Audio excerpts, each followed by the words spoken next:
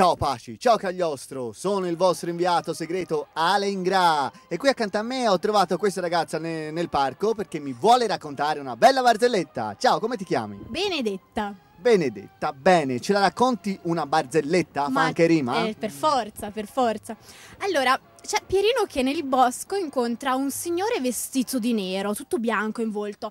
E eh, spaventato dall'accaduto precedente dice: Oh mio Dio, un serpente mi ha morso.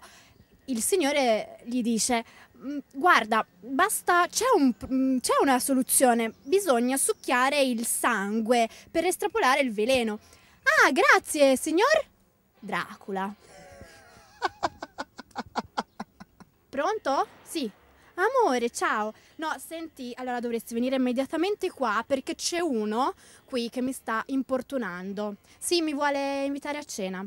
Sì, no, sbrigati. Sì, sì, sì, va bene, glielo dico. Ok, va bene? Ciao.